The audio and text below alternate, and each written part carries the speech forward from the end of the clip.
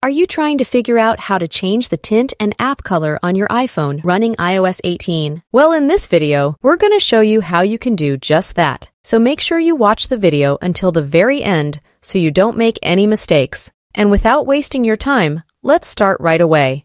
The first thing that we want to do is to long press on any application on the home screen or anywhere on your screen until your app icons start shaking and you enter this wiggle mode.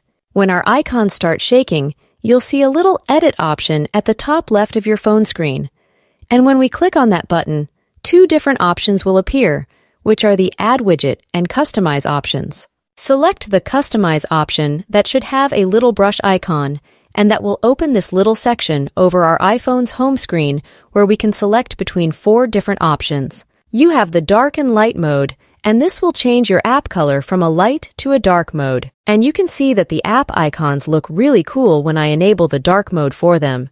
And if you set it to automatic, the dark mode for your app icons will be automatically enabled when you turn on the dark mode for your entire phone, which is pretty cool.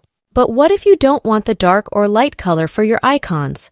But instead of that, you want to change it to a green, red, yellow, or any color you want.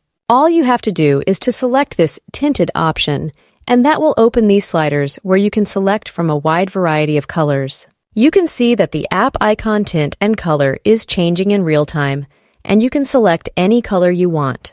When you are happy with a specific color, Let's say you change the color to green and you want to save the changes. All you have to do is to tap on your screen and the changes will be saved. That's how you can change your app color on iOS 18 on iPhone.